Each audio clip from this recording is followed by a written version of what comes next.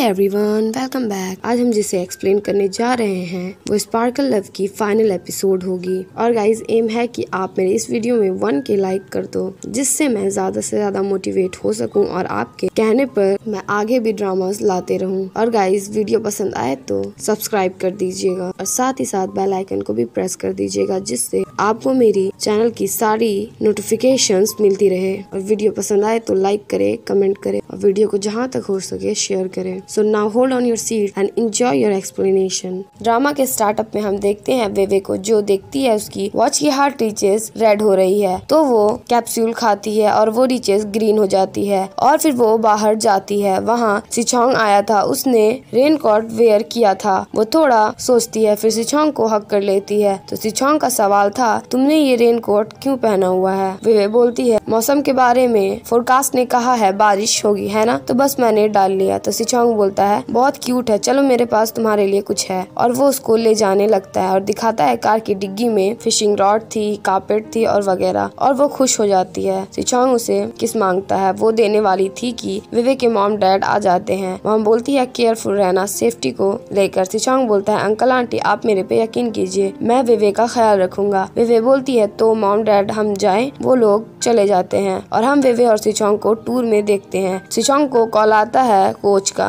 कुछ बोलती है, मैंने तुम्हें पुकारा था फ्यूचर के बारे में डिस्कस करने को। कल तुम आना और तुरंत ही टीम प्रैक्टिस करना स्टार्ट कर देगी। मैं प्लान कर रही हूँ कि इस साल कंपटीशन में पार्टिसिपेट किया जाए। वेवे को याद आता है डॉक्टर जियांग वाली बात, जब उन्होंने कहा था कि वेवे के लिए कोई प्लेस ढूंढनी होगी और उसे मॉम की भी बात याद आती है। जब उसकी मॉम ने कहा, मैं यूनिवर्सिटी जाके तुम्हारे लिए ब्रेक का प्लान कर रही हूँ और तुम भी उसको बताने का सोच सकती हो। वो मन में सोच रही थी, मैं सिचोंग, ये लास्ट टाइम है जब मैं तुमसे मिल रही हूँ। और सिचोंग बोल रहा था, आज मैं कैंप आया हूँ। अपने जीएफ के साथ लेक के पास कुछ बोलती है, तुम्हारी गर्लफ्रेंड भी है। तो सिचोंग बोलता है, मैं प्रॉमिस करता हूँ, इससे मैं प्रैक्टिस में कोई भी इफ़ेक्ट नहीं आने दूँगा। वे वे बोलती है, तुम नेक्स्ट टाइम हार्ड वर्क करना। सिचोंग बोलता है ऑल्सो प्रोवेंशियल टीम में एंटर करने के बाद ज़्यादा मत सोचो। आज हम इंजॉय करने आए हैं। और वो लोग एनिमल के साथ इंजॉय कर रहे थे और सिचोंग को करंट लगता है। वे बोलती है इलेक्ट्रोस्टिक है। मैंने बस अपने बाल को पकड़ा हुआ था। सिचोंग बोलता है वे तुम्हारा पिकाचू नेम खेलने में सेट कर रहा है। वो बहाना बना के चली जाती है। और हम रात का सीन देखते हैं जहाँ सिचोंग कैंप के बाहर अपना हाथ पकड़ा हुआ, बैठा हुआ था। वे आती है और बोलती है, क्यों? तो सिचोंग बोलता है, कुछ नहीं, मैंने हाथों में कुछ गंदी चीज़ छू ली थी। वो अपने साथ उसको बैठने को बोलता है और वो दोनों एक चादर के अंदर थे। सिचोंग बोलता है एक्चुअली मैं कभी कभी तुमसे जलता हूँ। वे बोलती है, क्यों जलते हो? सिचोंग बोलता है, क्योंकि तुम जब उन्नीस की होगी, तुम्हें लोगों से मिलना पसंद होगा। वे बोलती है, मैं बहुत लेजी हूँ इसे अग्री करने के लिए। तो जिस टाइम मैं शौक नहीं करूँगी, क्या तुम मुझे पसंद करना चालू कर दोगे? तो सिचोंग बोलता है, मैं सच में सोच रहा हूँ कि तुमने उसके बाद भी शौक दिया मुझे। तुम्हें याद है जब हम और नेशन के स्कूल के स्टार से पहले उस टाइम हम पहली बार मिले थे? वे बोलती है हाँ। सिचोंग बोलता है, उस टाइम मैंने सोचा था, ये लड़की इसके पास कितनी प्रॉब्लम्स है। क्यों है? पर इंटरेस्टिंग है। तो उसलिए मैं तुम्हारे पास आया। तो ये रीजन था तुम्हें मुझे शौक करने का। कौन सोचेगा? एक कॉलेज स्टार मुझे लाइक करेगा। और ज़रूरी है मैं तुम्हारा बहुत ख्याल रखूँ और तुम्हें फ्लर्ट करने में बहुत एफर्ट दूँ। वे वे बोलती है, क्या तुम सॉरी हो? सिचोंग बोलता है, मैं मैं सिचोंग हूँ। मैं रिग्रेट नहीं करता। मैं तुम्हें पसंद करता हूँ और इसे मैं कभी भी नहीं पछताऊँ वेवे और सिचोंग दोनों सोए हुए थे। वेवे सिचोंग को देखी जा रही थी। सिचोंग उठ जाता है। बोलता है, तुमने कपड़े को खुद पे ढांका क्यों नहीं है? बोलता है, तुम्हें ठंड लग रही है तो मैं तुम्हें कार में छोड़ के आता हूँ। वो उसको हक कर लेती है। बोलती है, अब बेहतर है। सिचोंग बोलता है, सो नहीं पा रही हो? वे बोलती है, थोड़ा थोड़ा। तो वे हट जाती है तो सिचोंग को बोलती है, शुक्रिया। सिचोंग बोलता है, शुक्रिया किस लिए? तुम एक पिकाचू हो। उससे मैं हमेशा तुम्हें प्रोटेक्ट कर सकता हूँ। सिचोंग बोलता है, मैं तुम्हें पसंद करता हूँ। वे उसको किस करती है? कुछ सेकंड तक यही चलता है। वे बोलती है, चलो चलो, अब सो जाओ। और उसके बाद सीधे हमें सुबह का नज़ारा दिखाया जाता है। और सिचोंग विवे को छोड़ने आया था। बोलता है, मैं चलता हूँ। अदरवाइज़ मैं अपने प्रोवेंशियल टीम के कार को कैच नहीं कर पाया टाइम पे। और वे वे उसे कुछ बोलती नहीं, बस कस के गले लगा लेती है। और वो इमोशनल हुई पड़ी थी। सिचोंग बोलता है, क्या मैटर है? तुमने अभी से मुझे मिस करना चालू कर दिया है। चैंपियनशिप खत्म हो जाएगी अगले महीने। टिकट बुक नहीं कर सकता। तुम नहीं आ सकती। वे वे बोलती है, नहीं, मैं जाऊँगी। सिचोंग बोलता है, ये तो अच्छा रहेगा। वे बोलती है इट्स ओके सिचोंग बोलता है, मैं चलता हूँ। वो बाय बोलता है। वे वे उसको अच्छे से जाने बोलती है। वो गाड़ी में चढ़ा था कि वे वे उसको रोकती है। बोलती है, मैं सिचोंग, बाय बाय। वो भी बाय बोल के के चला जाता है। और वे वे अंदर मन में बोल रही थी, हमेशा सबको नहीं चाहिए होता कि कोई तुम्हें गुड बाय बोले, क्योंकि मुझे नहीं पता इस बार के बाद हम फिर से कब मिलेंगे या फिर से कभी ना मिले। और हम सिचोंग को कार में देखते हैं, जहाँ सिचोंग की चैटिंग चालू थी। लिखा था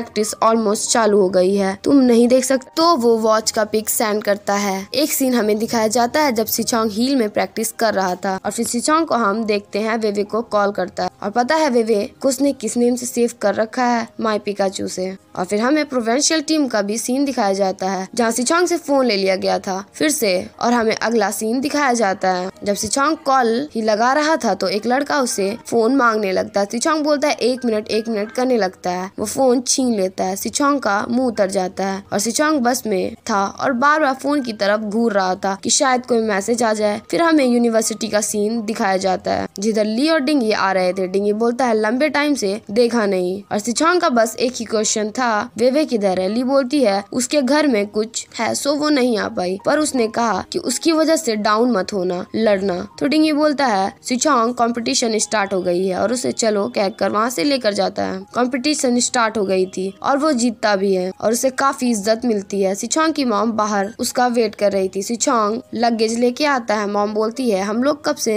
नज़दीक नहीं है। तुम्हें घर आना है कि नहीं? तो सिचोंग बोलता है ऑफकोर्स मैं घर आऊँगा। पर घर जाने से पहले आप मुझे एक जगह में छोड़ सकती हो? मॉम बोलती है, ओके, मैं छोड़ दूँगी। पर मुझे मेरे बेटे से क्या बेनिफिट होगा? तुम लंबे टाइम से प्रैक्टिस में लंबा टाइम दे रहे हो। आते ही तुम्हें पहले अपनी गर्लफ्रेंड की याद आई। क्या तुम एक शादी मटेरियल बेटे हो? सिचोंग बोलता है, मॉम, मैंने बहुत टाइम से वेवे को देखा नहीं है। प्रोवेंशियल टीम के प्रैक्टिस बहुत रेगोर्सली होती है। मोबाइल कैरी नहीं कर सकते। कॉल किया, उसको आंसर नहीं मिला। और फिर सिचोंग की मॉम उसको गाड़ी में बैठने को बोलती है और वेवे के घर में जाके रुकती है। माँ बेटे वेवे के घर के बाहर थे। वेवे का घर बंद पड़ा था। वेवे को कॉल करता है, बट कॉल कनेक्ट नहीं होता। सिचोंग अपने मॉम को बोलता है, उसने फ़ोन ऑफ़ कर दिया है। मॉम बोलती है, फ़ोन ऑफ़ कर दिया? तुमने उसे अनकंफर्टेबल फील कराया? सिचोंग बोलता है, नहीं, वो कार में बैठ के जल्दी से डोम की तरफ़ निकलता है। डिंगी बोलता है, सिचोंग भैया, तुम आ गए? सिचांग सीधे पूछता है वेवे के साथ क्या हुआ? जल्दी बताओ। डिंगी हिचकिचाते हुए बोलता है, वो वेवे सिस तो सिचोंग बोलता है, क्या हुआ है? और सिचांग और डिंगी कैफ़े में थे। हालात देख के तो ऐसा लग रहा था। डिंगी ने शायद सब उगल दिया था। उतने में ली वहाँ आती है। सिचोंग पूछता है वेवे किधर है। ली बताती है, मुझे नहीं पता, मुझे सच में नहीं पता। वो अपने पेरेंट्स के साथ मूव हो गई है, उसने बताया भी नहीं। मुझे भी उसके लिए चिंता है और चौंग सोफे में बैठ जाता है। ली अपने फ़ोन को देखते हुए बोलती है, ये उसका लास्ट वी चैट है। उसके जाने से पहले का। और वो मैसेज देखने लगा ली डिंगी को मारते हुए बोलती है, तुमने इसे क्या बोल दिया? डिंगी बोलता है, मैंने तो बस तो ली बोलती है एक्चुअली तुम्हारे प्रोवेंशियल टीम में जाने से पहले वेवे को एक प्रॉब्लम हो गई थी और वो मैसेज देखता है। लिखा था उसने यूजुअली किसी को नहीं बताया। वो हमेशा अकेला रहना चाहती है। डिपैचर से पहले और ऑल्सो सिचोंग को बोल देना कि वो मुझे ढूंढे नहीं और जल्दी से वहाँ से भागता है सिचोंग और डॉक्टर जियांग के पास आता है। बोलता है, वो अगेन आपके पास आई थी। डॉक्टर जियांग बोलते हैं, पर मुझे नहीं पता वो लोग कहाँ रह रहे हैं। सिचोंग बोलता है डॉक्टर क्या आप मेरे लिए उसे कॉन्टेक्ट कर सकते डॉक्टर जियान बोलते हैं, दो दिन हुए जब वो रहने लगे।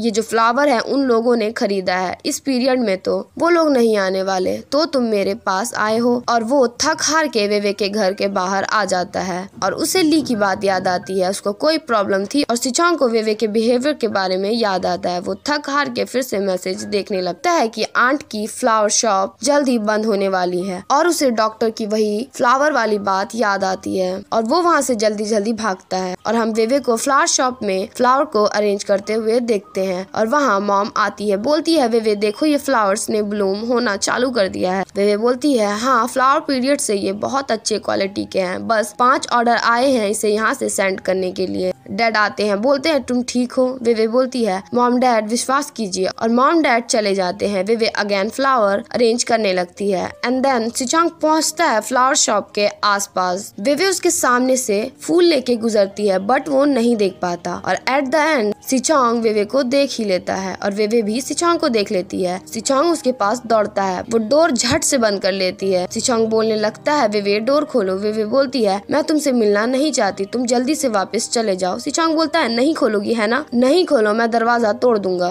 विवे बोलती है, अगर तुम अभी नहीं जाओगे तो मैं तुम्हें शौक दे दूँगी। सिचांग बोलता है, ओके, वैसे भी ये फ़र्स्ट टाइम नहीं होगा, जब तुमने मुझे शौक दिया है। विवे बोलती है, मैं अपने इलेक्ट्रिसिटी को कंट्रोल नहीं कर पाऊँगी तो तुम कहाँ रहोगे? तो सिचांग बोलता है सॉरी विवे बोलती है, कोई वजह नहीं है जो तुम माफ़ी मांग रहे हो। सिचांग, तुम्हें पता है, मुझे तुम्हारे साथ थोड़ा भी चल के अच्छा फील होता है, मुझे ये नहीं चाहिए। मैं कभी भी अपने बॉयफ्रेंड के साथ नहीं हो सकती। क्या तुम समझ रहे हो, सिचोंग चलो ब्रेकअप कर ले। सिचोंग को वहाँ से जाने को बोलती है। वो खुद रोने लगती है, सिचोंग। जा ही रहा था, देखता है कोच पेपे का कॉल आया था। कोच पेपे का कॉल वो उठाता है कोच पेपे बोलती है, सिचोंग, तुम किधर चले गए? प्रोवेंशियल टीम और चीज़ें देखने में बिज़ी है। अभी उन्होंने मुझे कॉल किया कि मैं तुम्हें फॉलो करूँ। तुम्हारी ऑलरेडी एक हिस्ट्री है और तुम लेट हो। कौन तुम्हारी मदद कर सकता है? जल्दी आओ और टैक्सी में कॉल करो। सिचोंग बोलता है, मुझे पता है कुछ पेपे, मैं गलत हूँ और कॉल कट हो जाता है। और वहाँ से चला जाता है। विवे को हम अपसेट बैठे हुए देखते हैं और हम और विवे सिचोंग को फ्लावर शॉप के बाहर फायर को जलाते हुए देखते हैं। वो सिचोंग के पास आती है। बोलती है, तुम सिचोंग बोलता है विवे तुम्हें याद है वो रिसोर्ट वाली नाइट उस टाइम तुमने मुझसे कहा था नो मैटर मैं कैसे इनपरफेक्ट हूँ? तुम एक्सेप्ट कर सकती हो मुझे, पता है? अभी मैं इधर बहुत डार्क बैग्स है, पर मुझे चाहिए तुम श्योर रहो। अभी मैं बस पूछूँगा, क्या तुम मुझे चाहती हो? मैं डेफिनेटली तुम्हारे साथ वे वे बोलती है, पर मेरी बॉडी डॉक्टर ने कहा, उन्हें नहीं पता वो कैसे ट्रीट करेंगे। हम कभी भी साथ नहीं हो सकेंगे। मैं एक टाइम बॉम्ब जैसी हूँ। मैं एक बुरी चीज़ हूँ। तुम्हारे पास तुम्हारी ज़िंदगी है। मैं अपनी इलेक्ट्रिसिटी कंट्रोल नहीं कर पा रही। अगर एक दिन मैं तुम्हें शॉक कर दूँ तो तुम क्या करोगे? और मेरी इलेक्ट्रिसिटी कभी नहीं जाएगी। तो क्या करोगे? वो उसको किस कर लेता है? और उसके हाथों से वो फायर गिर जाती है। सिचांग बोलता है, नहीं। और वे वे उसको हक कर लेती है। और यहाँ तीन साल का लीव ले लिया जाता है। और हमें यहाँ से न्यू सीन्स दिखाए जाएँगे। और हम लिनबे हुई को देखते हैं, जो बच्चों को पढ़ा रहा था। और यूजिन आती है, बोलती है एक्सक्यूज मी क्या इधर लिनबे हुई है? तुम्हारा खाना। और वहाँ वो दोनों सिचोंग का फ़ोन में इंटरव्यू देखते हैं। वो ली ले रही थी। सिचोंग इंटरव्यू में बता रहा था, मैं जल्दी शादी करूँगा। ली बोलती है, मैं इसलिए आई हूँ कि आप अपने गर्लफ्रेंड के साथ बहुत सालों से अच्छे रिलेशनशिप में हो। आई विश की आपकी शादी स्मूथली हो जाए। और यही डाइजी की इंटरव्यू खत्म हो जाती है। ली सिचोंग को मारती है। सिचोंग बोलता है, क्या हुआ? मैंने तुम्हें एक स्पेशल इंटरव्यू दिया और तुमने मुझे ये दिया। ली बोलती है, तुम चेंज हो गए इंटरव्यू में। बिना कोई रीजन के वे वे ये पब्लिक नहीं करना चाहती थी। सिचोंग बोलता है, उसे नहीं चाहिए, पर मुझे तो चाहिए। देख नहीं सकती कि कितनी लड़कियाँ मुझे कॉलेज में पसंद करती है। मैं हूँ उसे प्रोटेक्ट करने के लिए। क्या तुम्हें पता है? ली बोलती है, ये बहुत अच्छा रास्ता रहेगा कि तुम शादी के लिए गिफ्ट प्रिपेयर करो। सिचोंग एक कार्ड दिखाते हुए बोलता है ओ हाँ इसे उसे दे देना, भूलना मत। ये तुमको लेकर नहीं है। बस उसे ही दे देना। और डिंगी भाग के ली के पास आता है। डिंगी बोलता है सिछोंग को पहला प्लेस बधाई हो और डिंगी ली को कंधे में बिठा कर लेके जाता है और फिर वहाँ जियारुई आता है। बोलता है सिचोंग और उन दोनों की बातें चल रही थी। जियारुई बोलता है, आज मैं तुम्हें कम्पीट करते हुए देखने आया हूँ, पर यूनिवर्सिटी में इधर कोई लेक्चर नहीं है, कैसे हो? छोंग बोलता है, पहले ही जैसा। जियारुई बोलता है नंबर वन तुम्हें बताना भूल गया, अभी मैं डॉक्टर की पढ़ाई कर रहा हूँ। तो सिचोंग बोलता है तो तुम एक स्टूडेंट हो बहुत लंबे टाइम से। जियारुई बोलता है, तुम्हें जिन जिन देखने नहीं आई? तो सिचोंग बोलता है, क्यूँ तुमने उसे कांटेक्ट नहीं किया। जिन जिन अपने घर में बिज़नेस कर रही है बिज़ी काम है टाइम नहीं कम्प्यूटर देखने का उससे सिचोंग उसका फ़ोन माँगता है और वो दे देता है। और सिचोंग बोलता है, मैं वेवे को मिलने जा रहा हूँ सो एक्सक्यूज मी और सिचोंग चला जाता है। और सिचोंग ने जो फ़ोन मांगा था, उसने एक नंबर डायल किया था तो जियारुई कॉल करता है और बताता है वो जियारुई है। और वो स्माइल करता है, वो पक्का जिनजिन ही होगी। और हम वेवे को एक प्लेस में देखते हैं, जो वही मैप लेके थी, जो सिचोंग ने ली को दी थी, वो कॉल करती है, बोलती है, मैं नानती यूनिवर्सिटी के बाहर हूँ। तुमने मुझे यहाँ क्यों इनवाइट किया? वो बोलता है, पूछो। मैं गाइड करता हूँ फॉलो करो। और वो अंदर पहुँचती है। अंदर बहुत ही ब्यूटीफुल सेटअप था। सिचोंग गाइड कर रहा था। कॉल करता है और वे वे एक टेबल देखती है, जो डेकोरेट करा हुआ था। और पिकाचू का कार्ड था। उसमें लिखा था प्लीज़ मुझे खाओ। और वो ड्यूरन कैंडी निकालती है। उसमें लिखा था, मुझे हेयू में मिलो। और वो वहाँ जाती है। और वहाँ पूरा वाटर का सेटअप लगा था। और वहाँ सिचोंग स्विम कर रहा था, वो देखती है सिचोंग को। बहुत खुश थी।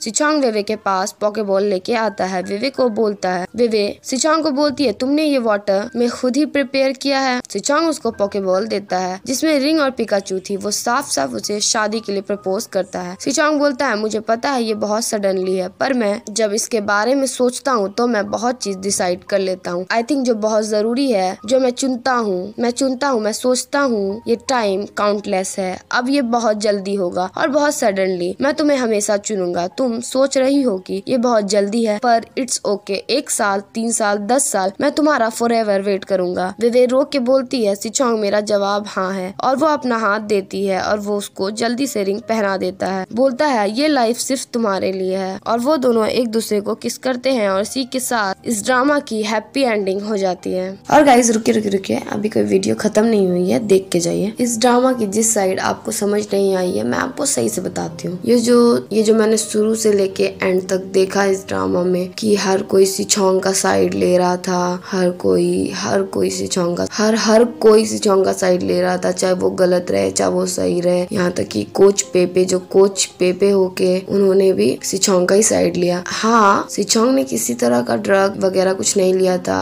उसमें उसकी कोई गलती नहीं थी, जिससे कि वो फंसा। आई नो बट लेकिन लेकिन अगर आप, लेकिन आप अगर अलग साइड से देखो तो आपको इस ड्रामा का मेन हीरो जिया रुई लगेगा। क्या गलत किया उसने? बस एक रिकॉर्ड ही तो किया था लीक थोड़ी कर दिया। सब तो उसके ऊपर जाके चढ़ ही गए। उसका किसी ने भी स्टैंड नहीं लिया, जिन जिन ने भी उसका स्टैंड नहीं लिया। वो जब अपनी मेहनत से जीता था, फिर भी उसे किसी ने भी चेयर अप नहीं किया, किसी ने भी। लास्ट लास्ट में थोड़ा लिनबे हुई और यूजिन ने किया, शुरू में भी किया। बट ली और डिंगी जो थे, वो पूरे मतलब मुझे बहुत पसंद थे शुरू में। बट वो दोनों बहुत ही ज़्यादा सेल्फिश थे। सिर्फ़ वो दोनों को सिछोंग और वेवे दिखता था। जियारू किसी को नहीं दिखा जियारुई ही मेन लीड कैरेक्टर था मेरे हिसाब से और जियारुई मेरा फेवरेट था। पूरी की पूरी इस ड्रामा में चीटिंग चली है। और जो वेवे अपने आप को बेचारी बेचारी टाइप्स दिखाती थी, अगर वो इतनी बेचारी थी तो उसको तो जियारुई का साइड लेना चाहिए था। उसने भी तो चीटिंग करा दी सिचोंग को शुरू शुरू में। अगर अगर सिचोंग का कहना था कि उससे नहीं आती थी आती थी उससे उससे भी वो जीतता था। जियारू एक साइड से वेवे की वजह से भी हारा है। और जियारू ने कोई लीक वीक नहीं किया, जो इतना सब उस पर चढ़ गए। और वो जब चला भी गया तो सबने खुशी खुशी पार्टी की। किसी ने भी शोक नहीं मनाया है। और गाइज़ आप मेरे इस बात से कितने सहमत हो, मुझे कमेंट करके बताओ। And thank you for watching this drama